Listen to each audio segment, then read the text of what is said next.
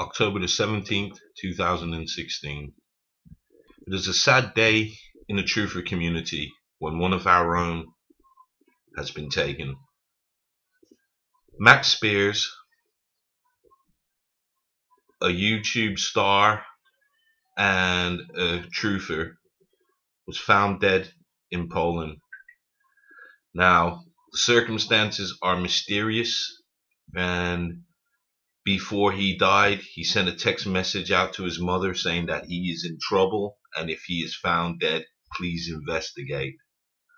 So, you know, with this community that I am proud to be a part of, sometimes we do come across something that is really close to the truth. And when we are doing this and we are like a dog with a bone, it hurts somebody and there are people out there that hate us for what we're doing.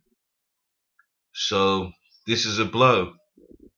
My condolences go out to his family, his children, and I hope to God that we get the answers to how this young man died, and more importantly, is what he was investigating. Because nobody wants to die, and nobody wants their death to mean nothing. So Max Spiers, may God rest your soul. And brothers and sisters, may God be with you and keep you safe. And you're concerned about what happened to him there where he died? Yes. What were the circumstances of that? He didn't know the Polish people at all. Uh, he'd always known the people he'd dealt with in the past.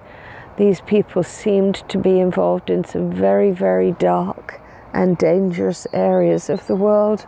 And uh, I was afraid that as, his, as he was gaining popularity and fame, that perhaps somebody would want him out of the way, i.e., not alive any longer. And I think he sent you a text, didn't he, um, mm-hmm. um, which indicated that he had some concerns. Yes. What did that text say roughly? That text said exactly, your boy's in trouble. And I was in touch with Max every single day for most of his life. When you say your boy, he was referring to himself. Yes.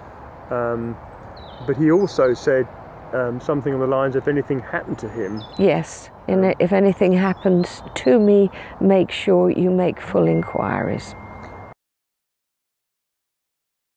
So all the textbooks um, and all the history books are, are then written and, and uh, so that when so that we all collectively believe this particular thing so then we all, when we all believe it, we all ma ma manifest a reality that's based on these books. Yes. Uh, that's very sneaky and a very clever way to yeah. do it because how do I know? How do we know the textbooks are um, uh, They're not. The, the, the, the wars are written by the winners, mm. aren't they?